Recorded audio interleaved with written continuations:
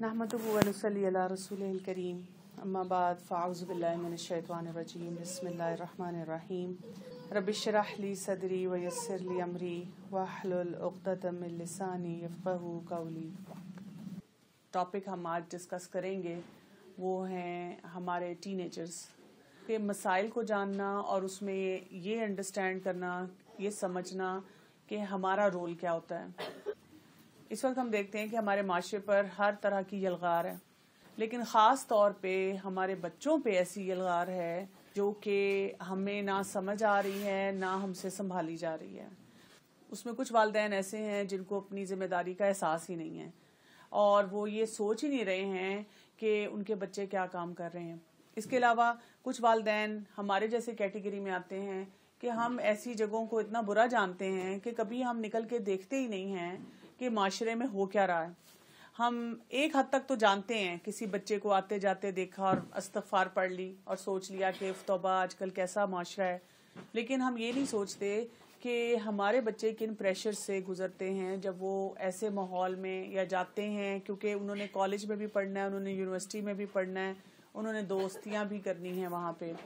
तो वो किन प्रेशर से गुजर रहे हैं? हम उनको घर में जो माहौल दे रहे हैं और फिर जब हम उनको गाइडेंस के बगैर उस माशरे में छोड़ रहे हैं तो फिर क्या हो रहा है उनके साथ?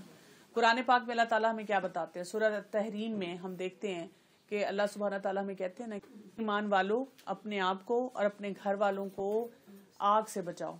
हम जब कहते हैं, बस वो बच्चे को बार बार मैसेज दे रहे होते हैं, बचपन से, बस बेटा पढ़ लो, बेटा अपनी ज़िंदगी बना लो उसके बाद जब वो कॉलेज यूनिवर्सिटी तक पहुँचता है तो फिर हम कहते हैं, अपना कैरियर बना लो। फिर हम उसके बाद कहते हैं अच्छे साथी का इंतखब कर लो।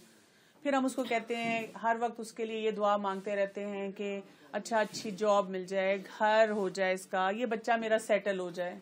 और इसी तरह उसके बाद वाले बच्चे जो हैं, उनके लिए भी हम यही ख्वाहिशात रखते हैं। रखनी भी चाहिए। अगर माँ बाप नहीं अपने बच्चों की खैर ख्वाही सोचेंगे तो फिर कौन सोचेगा? लेकिन हमारी खैर ख्वाही वहीं पे ख़त्म हो जाती है। और हम ये नहीं सोच रहे होते कि ये बच्चा क्या अपने आप को आग से बचा पा रहा है? क्या किसी भी स्टेज पे हमने उसको ये सोच दी है कि वो ये सोचे कि मेरी आखरत संभल जाएगी? क्योंकि असल कामयाबी जिसको अल्लाह ताला ने कहा है वो क्या है? फौज नजीम कौन सी कामयाबी है? वो वही कामयाबी है जो आखरत की कामयाबी है। फिर हम देखते हैं कि रसूलुल्लाह सल्लल्लाहु अलैहि वसल्लम ने हमें क्या कहा? कुल्लुकुम राइन व कुल्लुकुम मसूलत अन राइया। हम में से हर शख्स राई है। हर शख्स को एक लीडरशिप रोल दिया गया है।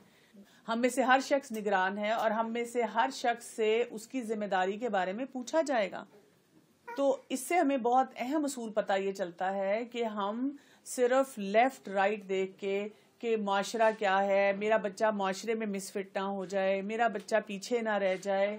हमें इस दौड़ में उस तरह नहीं चलना जिस तरह के सारे लोग चल रहे हैं। हमारा फोकस वो नहीं हो सकता। अगर हमारा भी फोकस वही है और साथ वाला कोई एक बैठा हुआ है जिसने कुरान नहीं पढ़ा हुआ, जिसको दीन की समझ नहीं है, उसका भी फोकस यही है। और एक काफिर जो अल्लाह को नहीं मानता, उसका भी फोकस यही है तो फिर फ़र्क क्या हुआ? अगर वो भी अपने बच्चों की तालीम तरबियत पे उन्हीं चीज़ों पे तवज्जो दे रहा है जिसपे हम दे रहे हैं। एक मुसलमान की सोच और उसके अमल में बहुत ज़्यादा फ़र्क होगा बाकी लोगों की सोच और उसके अमल से।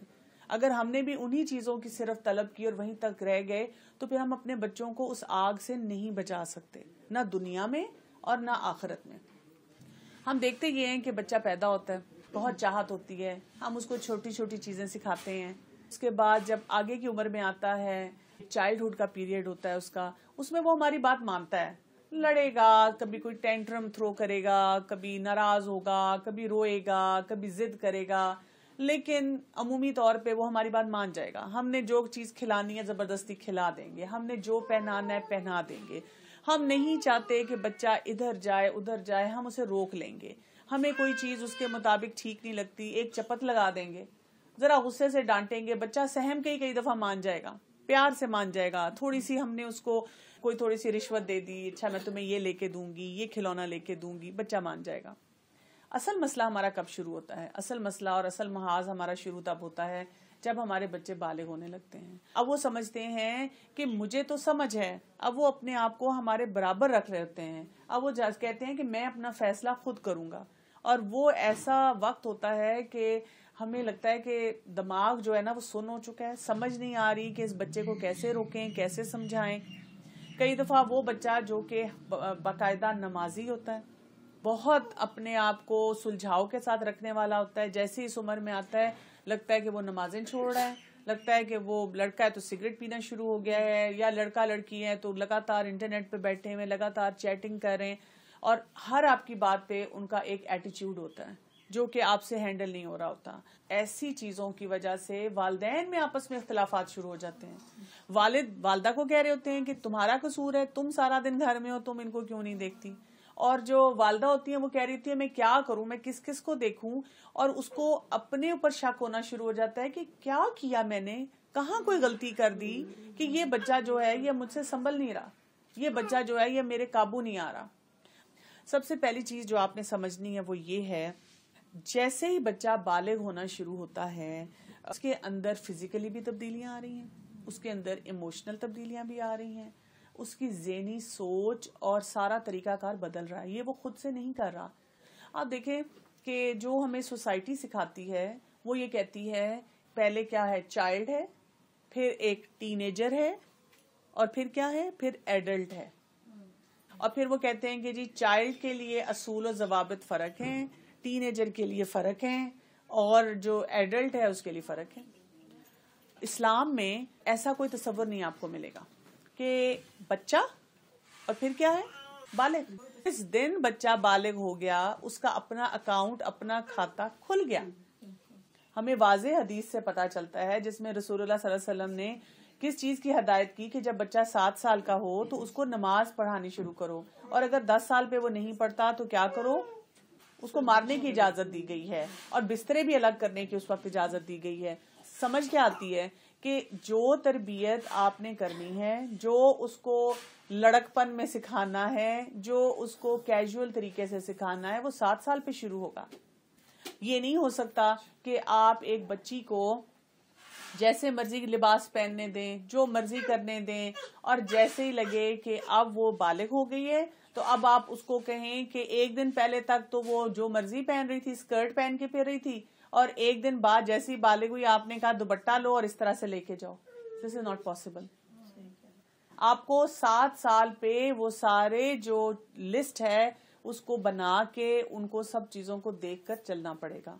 अगर आप वो नहीं चलेंगे तो फिर आपके लिए मसाइल जो हैं, वो बढ़ेंगे। हमारा इस्लामिक प्रिंसिपल ये है कि बच्चा और बालिग जब वो बालिग हो गया, वो मेच्योर होने में टाइम ले सकता है, लेकिन अब वो बालिग है और उसको बालिगों की तरह ही बिहेव करना है।